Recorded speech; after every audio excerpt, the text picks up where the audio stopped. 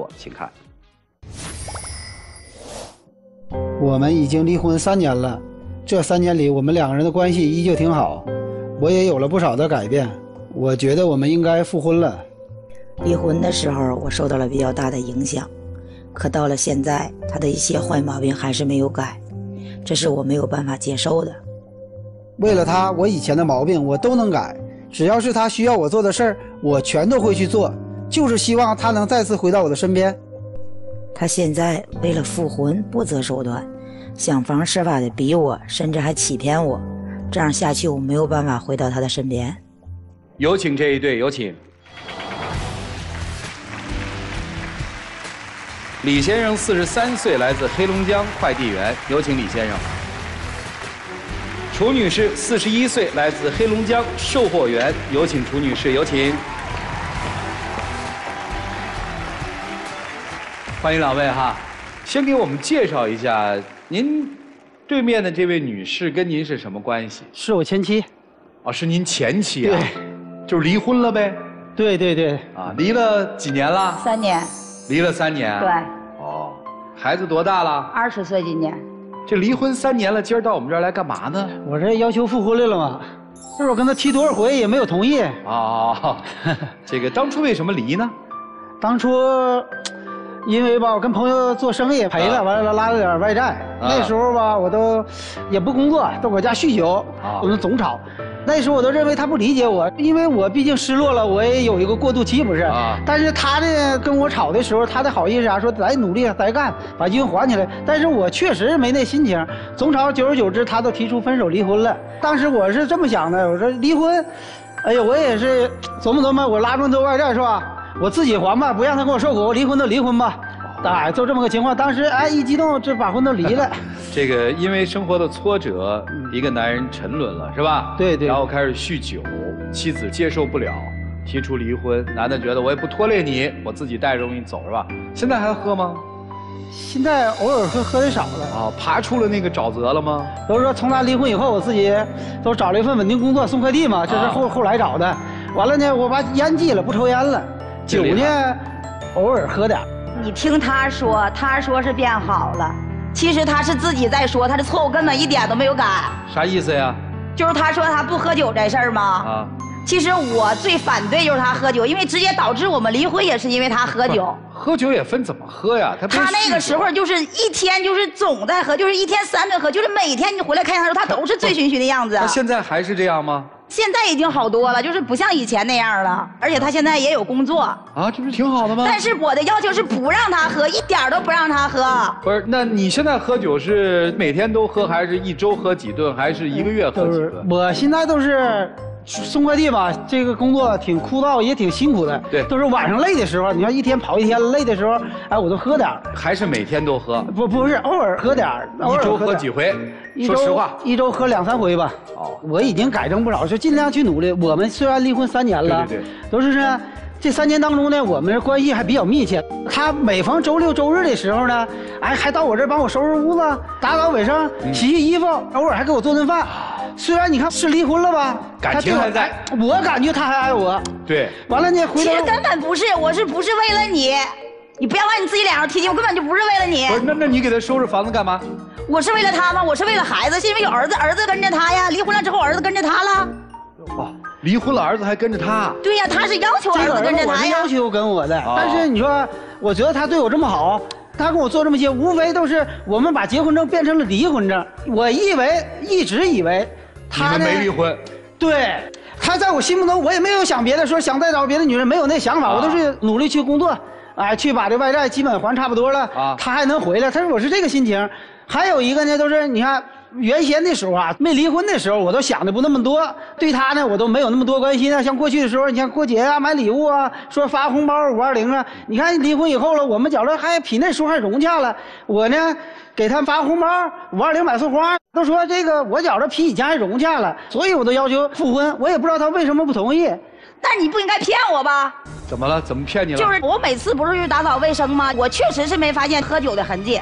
但是事实不是那么回事儿，就是有一次儿子去我那儿，儿子跟我说，就是说他那个我爸要喝酒，喝酒之后跟儿子那个发脾气。我说我没发现你爸喝呀，他说的你不知道，我爸把因为他有车，他把那个喝酒的那个瓶子呀、酒啊什么都全部都放在车的后备箱里边。他跟我说他已经不喝，他这不属于骗我吗？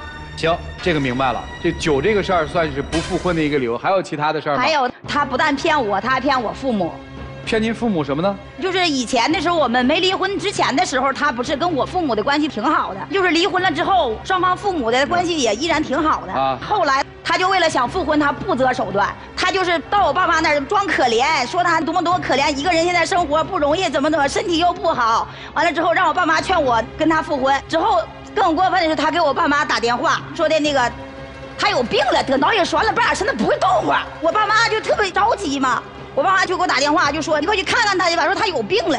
完了我就去了，我去了一看，人家可好，床上躺着呢，根本啥事都没有。我一看躺着不就生病了吗？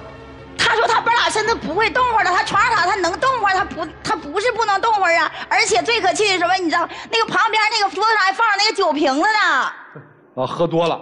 你说他这人太自私。你想我爸我妈那么大岁数了，他给我爸妈打电话说这话，我爸我妈听着着急，万一有什么问题，有啥事了他。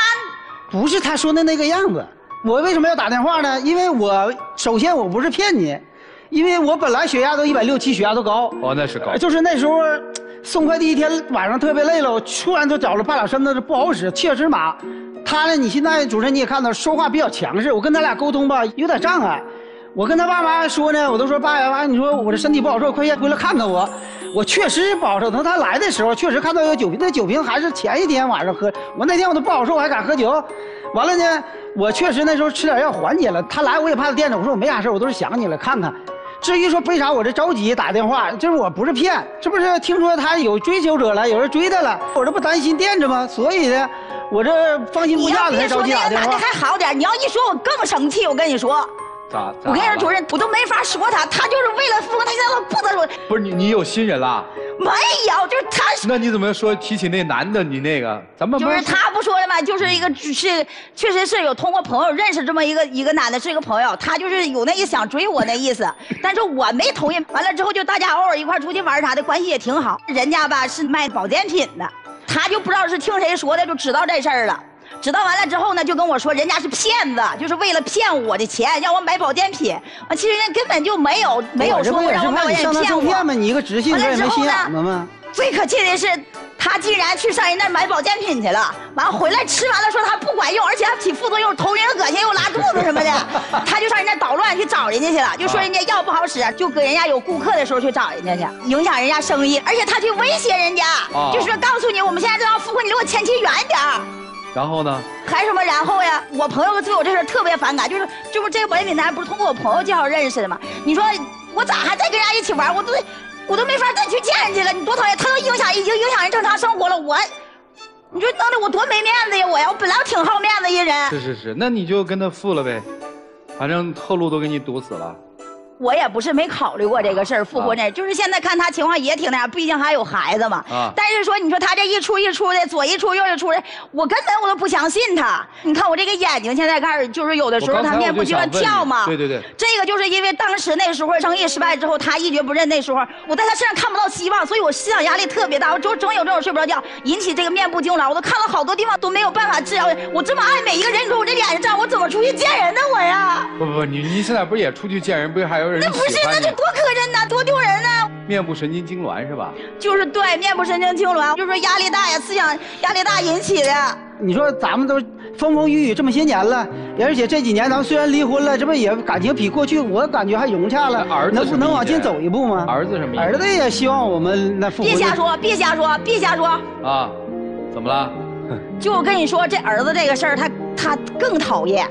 就是儿子现在不是已经长大了吗？已经工作了，现在，嗯，他就总逼儿子，让儿子去跟我说，让我跟他复婚呐，就是怎么怎么地的。也许是儿子发自内心的想法。不是，肯定是他逼的啊！我就跟儿子说过这遍，我确实是不想跟他复婚。儿子有一次就跟他说了，说的那个，我妈可能是不想跟你复婚，她就特别生气啊，就说儿子对她不好，儿子不孝顺她，怎么怎么地的。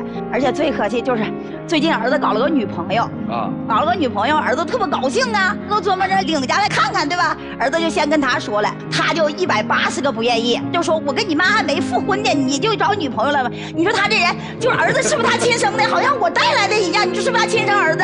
他就这这这人他多自私啊！是你亲儿子啊？啊，确定是我亲儿子？不是，这个你说我是这么理解的，你们去想啊，我为什么要要求先那个复婚呢？当时我说是我说儿子，你才二十，结婚还早着，我和你妈先复婚，你再领对象来，为了都是给他一个人对方家长有完整的家庭。如果咱们家是女儿的话，找对象也不希望找一个离婚的家庭，因为肯定有影响。我这出方面一个对。百分之九十为我自己好，百分之十呢也是为孩子好，是不是？我得这么说，我也为了复婚，我这主要的都是为了复婚，给都给我互相有照顾。完了，我就跟儿子，我说儿子没事，我说他不见，我说你领回来，妈看。儿子就把那个女朋友领回来了，领回来了之后，就是我们一起吃个饭啥的，也挺好的。他就知道这个事儿了。就跟儿子一顿教训他，就说你这个白眼狼，你没良心啊！我养你这么大，我让你去跟你妈说，让你妈给我复婚，你不但不那啥，我不见你女朋友，你还把女朋友领去你妈那儿去了，你你就是白眼狼，你就没良心。反正就是儿子对不起他说。哎，我跟儿子那么说，我说我说话就是声大点也没人像你说的那么严厉。我说你劝劝你行，事儿听得差不多了，就是您先生不择手段的想跟您复婚，对吧？对呀。原本还有点对他的意思，被他这么一闹。一点儿意思都没了，对吧？其实我也不是那啥，我我就是不让他喝酒，我也是为了他好。他本来身体都不好，完了之后你说我不是为了他好吗？而且你说谁不想过那正常日子？你这样一个人过，他也不是说的多那啥，是呗？不是，您到底是富还是不富也听我现就现在他这种情况，我没法跟他复对对对对，呃，就是有点举棋不定，有点害怕，是就我不相信他，他现在说说的话，我一出这一件一件的事我就不相信他。明白明白。但是从两家人的愿望来说，可能双方的父母啊，包括你们的儿子，也是希望你们能在一起。但是婚姻这件事儿嘛，都经历过了，再想，就为你们自己好好的活一次。你们听听老师们的意见啊，来一起进入丘比特问卷。大姐，我觉得你其实并没有跟他分开。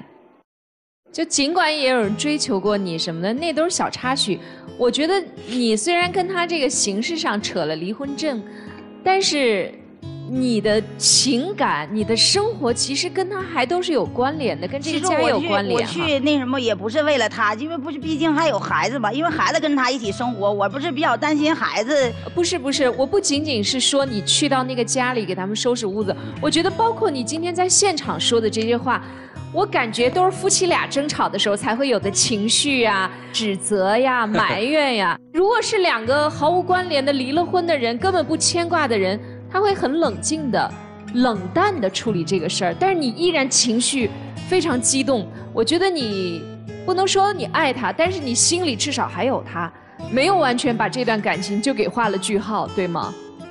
所以这个事儿还是有回旋余地的，是吧？但是我现在不相信他。他这左一回右一回的，那你说怎么样才能够复婚？最起码的，他得，就是说他得把这个酒完全戒了，不喝了，而且不能再像这样一次一次的骗我。说到就要做到，男子汉嘛，就是对吧？说话就是板上钉钉，你不能这样式的欺骗我。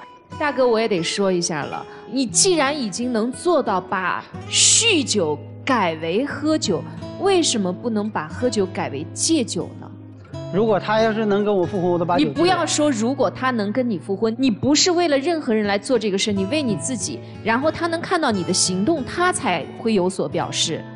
他其实对你没有要求，你没发现吗？就要求你把酒戒了，别撒谎了，别骗他了。你用那么多迂回战术，累得半死，你直接把酒戒了不就行了吗？绝对戒了。我根本就不相信他，你就不给他一点点机会是吗？那得看他表现。我又不是没说过。你这样，你给他多长时间考验他？半年。半年，滴酒不沾。没问题。好，相信他，给他半年时间好吗？大哥，你还等得了半年吗？我等不了，绝对等不了。但是你们复合啊，我觉得是要有两个基础条件。第一个貌似已经达成了，就是这位大姐，并没有。在外面找新的男人，你们中间还是有感情基础，这点是条件符合。但第二点啊，时机还未成熟。其实你说过一句话，说我们离婚呢反而显得更融洽了，对不对？你知道为什么大姐一直要让你戒酒？因为你一旦喝了酒，你的脾气就上来，你就无所顾忌了，想说什么就说什么，不管对对方是否造成伤害，有多大的伤害，对，是的都不管不顾了。对，就是那个时候他喝酒，那时候就是吵架的时候，甚至都要动手打我。而且现在你还做出了一一些不计后果的事情，这是让大姐最难接受的。比如说，你去骗他的父母说你半身不遂了，你这样把两个老人要吓出一些毛病来怎么办？你想过后果？啊，你跟儿子说你你必须得在我后面结结婚啊，我得先复婚啊，好吗？那你儿子那个婚事丧了怎么办？还有他那个朋友，你把人生意闹砸怎么办？你不管这些后果，这才是大姐最担心的。你控制不住自己的情绪，你还在使一些伎俩，这绝对是不可以的。如果你还用这种千方百计、不择手段的方式去做，我告诉你，做的越多，他跑得越远，因为他怕你。要足够的尊重他的感受，做到这一点，大姐你就说可以，好不好？好，谢谢老师。好，谢谢曲总。我怎么没听懂你们在干嘛呀？就因为不能戒酒，所以就坚决不复婚啊？不是，不是因为不能戒酒，是因为他酗酒，就是引起了一系列的，就是所以嘛，你现在就是说你不戒酒，我就不跟你复婚；你戒了酒，我可以考虑。但我还是没听懂，真的戒了酒，你就应该跟他复婚吗？在考虑吗？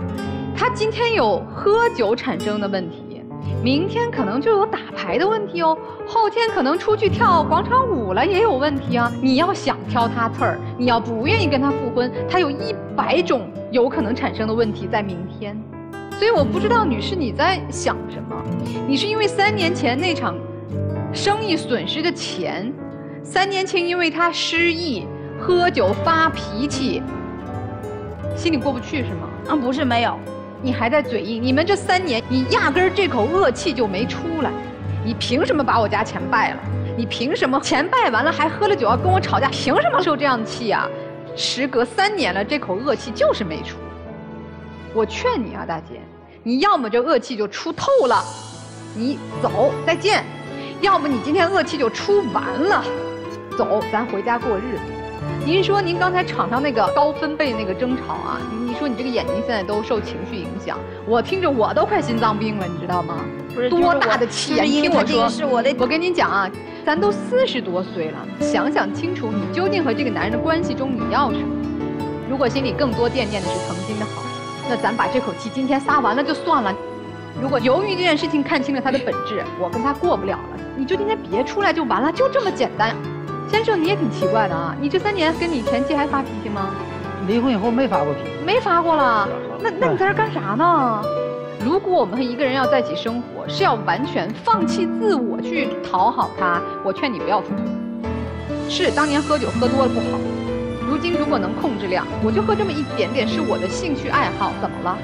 你就复婚复的就这么屈辱，这么没有尊严吗？咱能不能想清楚这婚姻要什么？你该保有的是什么？你的底线是什么？一味的讨好没有好结果。做个男人响当当的，就这样吧。好，谢谢杨老师。哎，我问你两个问题啊。第一个问题，跟你复婚对他有什么好处？因为我们住一起了，啥事都有照应了。不是他现在没人照应吗？你现在生活很困苦吗？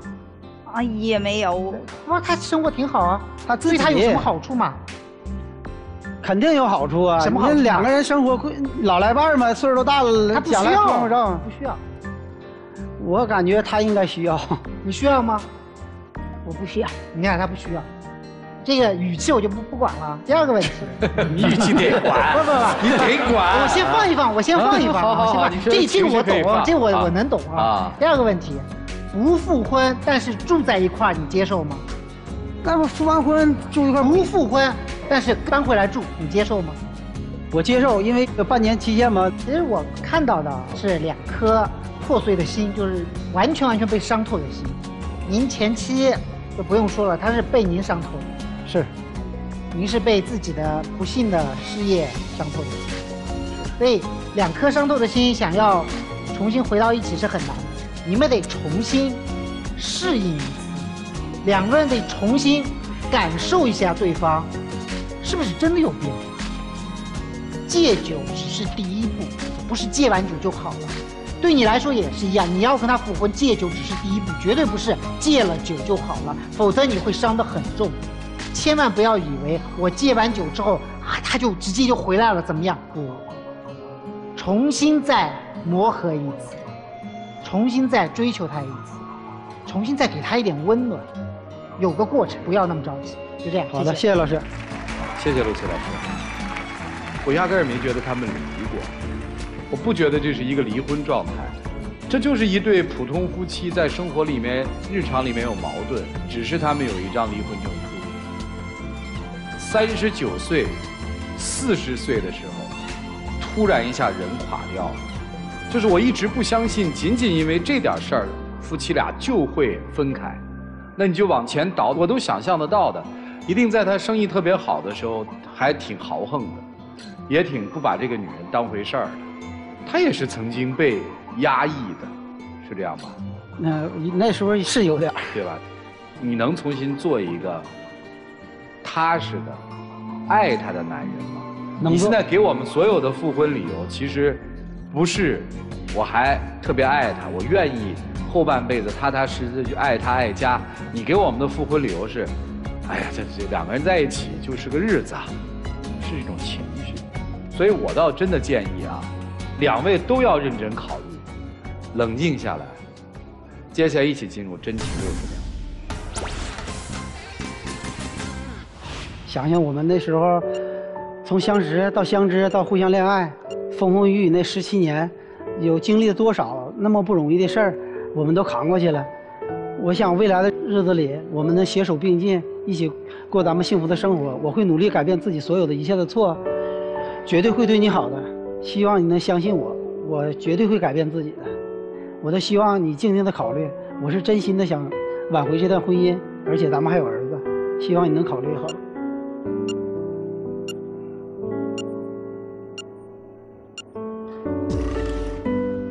我觉得您这安静的状态特别好。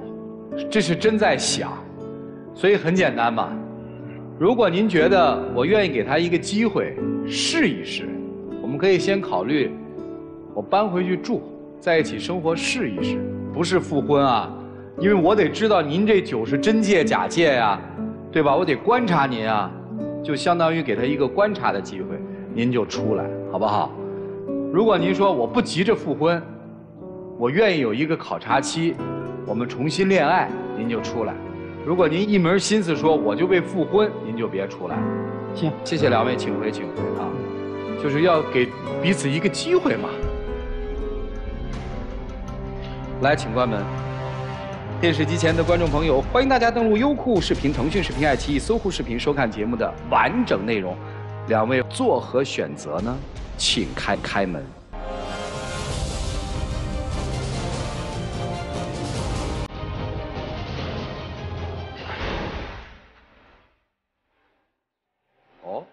来来来来来，咋了？我我实际我来着急复婚，有一个就是海淀刚才说那个男的，我有点不放心。他说也没细说，我都是想听听这个，你心里有点没底了。还有希望在，但是有一点，你要尊重他的选择。如果他不跟你复婚，他能够得到幸福，你愿意给他这个幸福？我尊重他的选择，谢谢您。如果您保持这个平和心态，可能会有一个好的结果。好，谢谢。来，请回。